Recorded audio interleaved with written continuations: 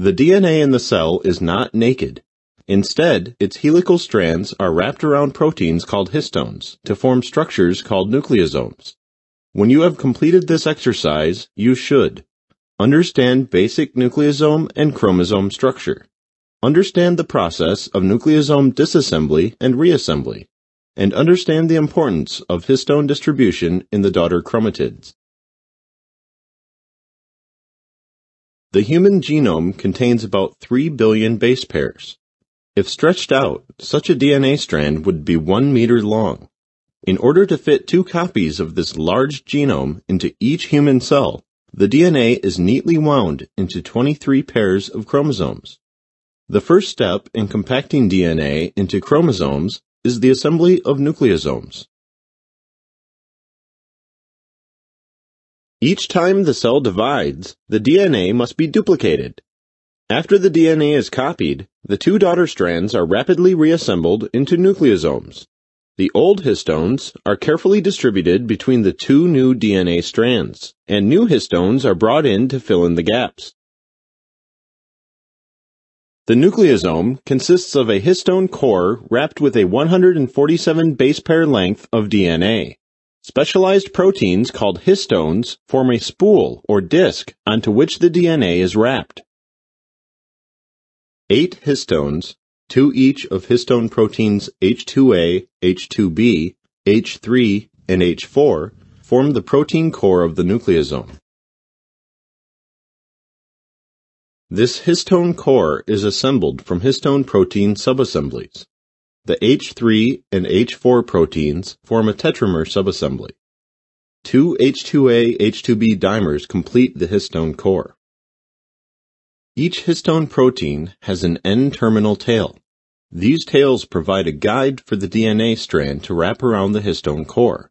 The N-terminal tails emerge between the DNA strands and create a groove much like that of a screw, that forces the DNA to wrap in a left-handed manner around the histone. The DNA strand wraps 1.65 times around the core, using a length of 147 base pairs. This core DNA always wraps around the histone core in precisely the same way, independent of sequence. The DNA is bound to these proteins via hydrogen bonding, the H3-H4 tetramer binds the middle and both ends of the core DNA. The H2A-H2B dimers bind the DNA between the middle and the ends.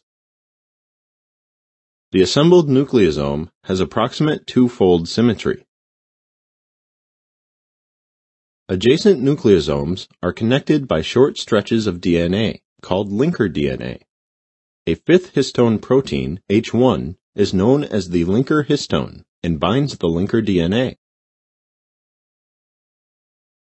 The binding of the H1 histones to the DNA stimulates a first level of chromatin packing, the formation of a fiber that is 30 nanometers in diameter.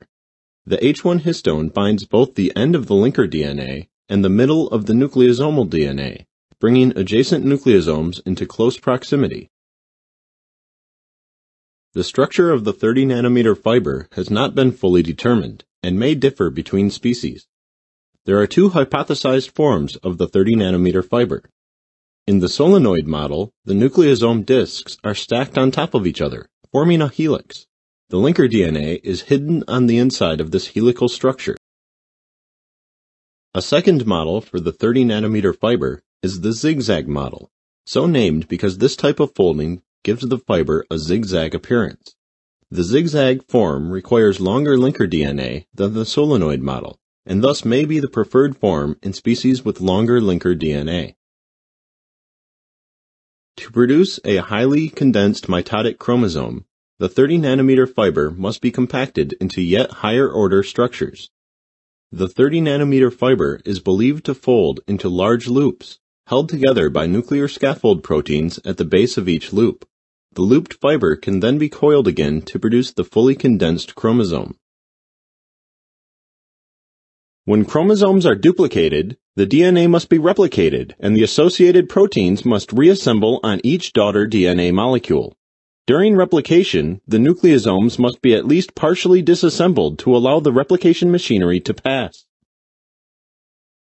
The H3H4 tetramers remain bound to one of the two daughter DNA duplexes at random.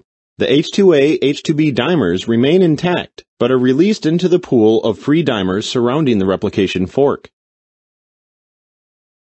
The H3H4 tetramers from the old nucleosomes begin to form new nucleosomes on the daughter DNA molecules with which they are associated, soon after the replication fork passes. Because the amount of DNA has doubled, more histones are needed to fully package the two daughter strands into nucleosomes. These newly synthesized the H3H4 tetramers from the old nucleosomes begin to form new nucleosomes on the daughter DNA molecules with which they are associated, soon after the replication fork passes. Because the amount of DNA has doubled, more histones are needed to fully package the two daughter strands into nucleosomes. These newly synthesized histones do not spontaneously form nucleosomes with DNA in the cell. Instead, histone chaperones guide these new histones to the DNA behind the replication fork. ASF1 and CAF1 work together synergistically to bring H3H4 tetramers to the nucleosome assembly site. It is believed that ASF1 helps to load CAF1 with new tetramers. CAF1 binds to PCNA rings, delivering the tetramers to the DNA. PCNA stands for Proliferating Cell Nuclear Antigen, and this sliding clamp protein helps to tether DNA polymerase to DNA during replication.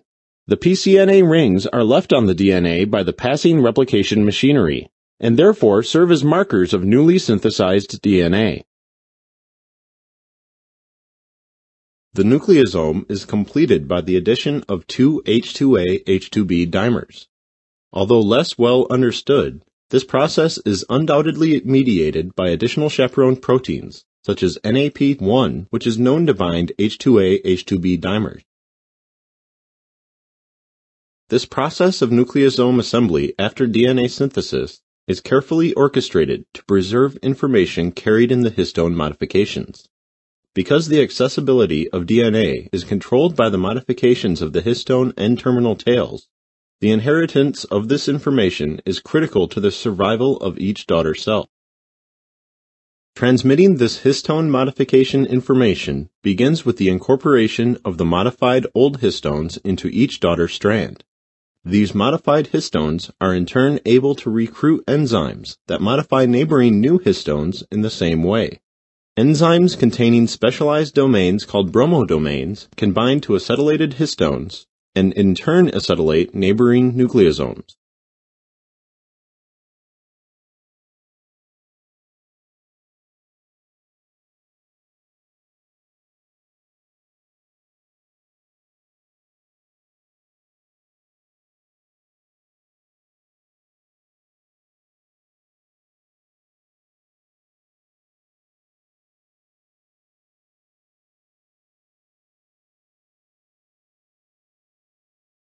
During cell division, DNA is tightly wound into condensed chromosomes to ensure each daughter cell receives the proper complement of genomic DNA. The formation of nucleosomes is the first step in the formation of these chromosomes. The nucleosome consists of double-stranded DNA wrapped around eight histone core proteins, two each of H2A, H2B, H3, and H4. The DNA is positioned around the histone core by the N-terminal tails of the individual histones. A linker histone protein, called H1, binds DNA draped between histones. During replication, DNA is briefly unpacked from nucleosomes. Once copied, the new DNA is quickly repackaged to protect it from degradation and to control DNA accessibility for gene expression. In the cell, proper nucleosome assembly requires chaperone proteins such as CAF1, ASF1, and NAP1. The N-terminal tails of histones can be modified by the addition of methyl or acetyl groups. These modifications regulate gene accessibility and are critical for proper gene expression and cell survival. Histone modification information is transmitted from parental to daughter DNA by careful distribution of old histones onto the new DNA, coupled with the histone modifying action of bromodomain and chromodomain containing proteins. You have completed this exercise.